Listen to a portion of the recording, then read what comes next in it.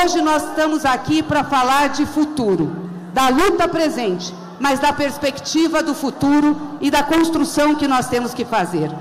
E hoje, esse partido, o Partido dos Trabalhadores e das Trabalhadoras, recebe a sua ex-prefeita de novo, de volta, recebe Marta Suplicy.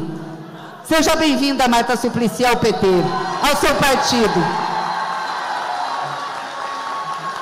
Você, você pode ter saído do PT por um tempo, mas eu quero dizer que o PT não saiu da sua imagem.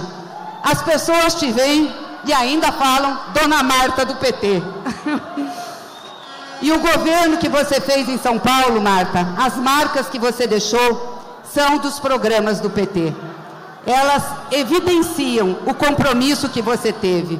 Sua gestão foi uma das que mais fez pela periferia, pelo povo pobre, pelos trabalhadores. Você volta num momento muito importante para resgatar junto com Bolos a nossa, o nosso projeto mas, sobretudo, também para vencer e disputar o projeto de retrocesso que a extrema-direita tem, não só para São Paulo, mas tem para o Brasil.